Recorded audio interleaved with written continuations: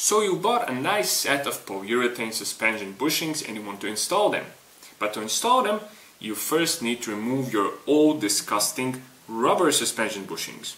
Well, stay tuned because in the next 3 minutes of this video, I'm going to show you a quick, easy and painless way to remove these from your suspension components.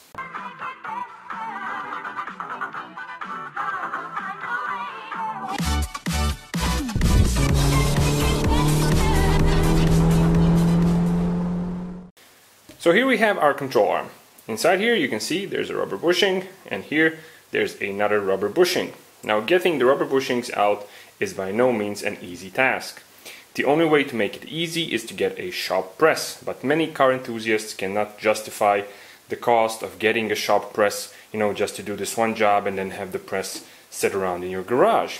So many people get tempted to burn these out. You get a torch or some other source of flame and you basically burn the rubber until it all melts out of, of the of the suspension component. Now, I actually didn't know better before and I did this when I was doing my engine mounts and from my personal experience I can very safely say that that is a very bad idea because burning out the rubber is a number one a health hazard, number two an environmental hazard and number three it smells beyond words. It's horrible. So what's the solution? How can we get these things out? Without, you know, suffering and torturing ourselves? Well, the solution is something that isn't originally meant for the removal of suspension bushings, but it works great nevertheless. And here we have the solution. What is this? This is a gear puller. As the name suggests, this thing is made to pull gears from different, you know, mechanical components, transmissions, what have you.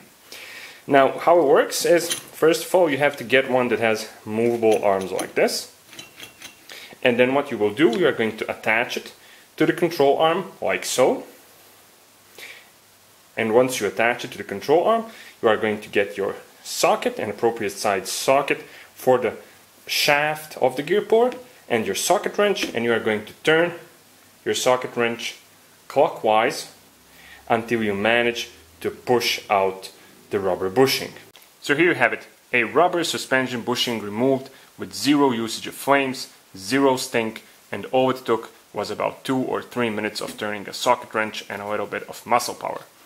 Sometimes you will run into suspension bushings that will be really stubborn and it will seem that no amount of muscle power is going to be enough to get them out. Luckily, there's a solution for that as well, and all you are going to do is get some sort of a jar or bowl and fill it with gasoline. Then you are going to put your suspension component in that gasoline so that the entire rubber bushing is submerged in the gasoline and leave it there for maybe two or three days. What's that going to do? It's going to disintegrate the rubber and it's going to significantly weaken the bond between the metal and the rubber and it will be a lot easier to use the gear puller again and get the suspension bushing out. There you have it. As promised, a quick, easy and painless way to remove old rubber bushings. Now, I hope you liked the video. If you did like the video, of course, don't forget to share, like, comment and subscribe. If you know of some other ingenious ways to remove rubber bushings, or you want you know, to ask a question or want to add something to this video, the comment section, it's right down there below, and it's all yours. So, I guess that's pretty much it for today. Thanks a lot for watching, and as always, stay tuned to the D4A channel.